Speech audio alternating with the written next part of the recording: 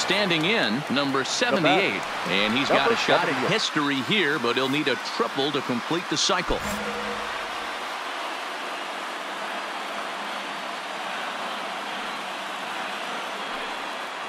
Ready to deliver. Here's the first pitch. And he takes a pitch that's ruled a strike at the knees. Pretty liberal strike zone there. It's 0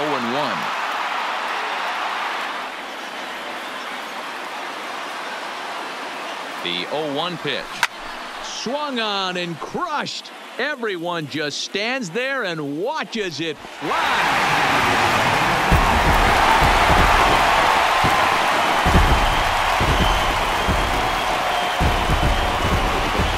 two-run blast to straightaway right field. And none bigger than that one as this ball game is over.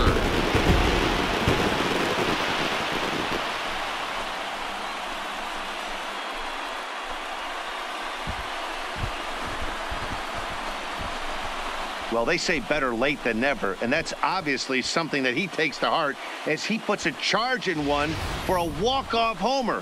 Got to be the best feeling in all of baseball.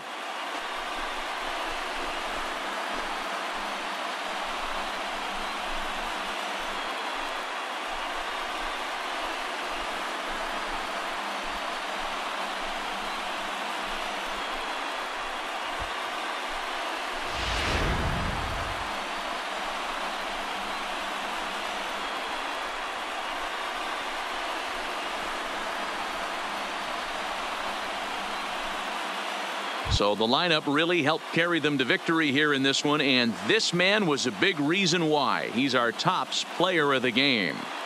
Well, he blasted a couple of balls over the wall in this one, really put the guys on his back and carried him to the victory.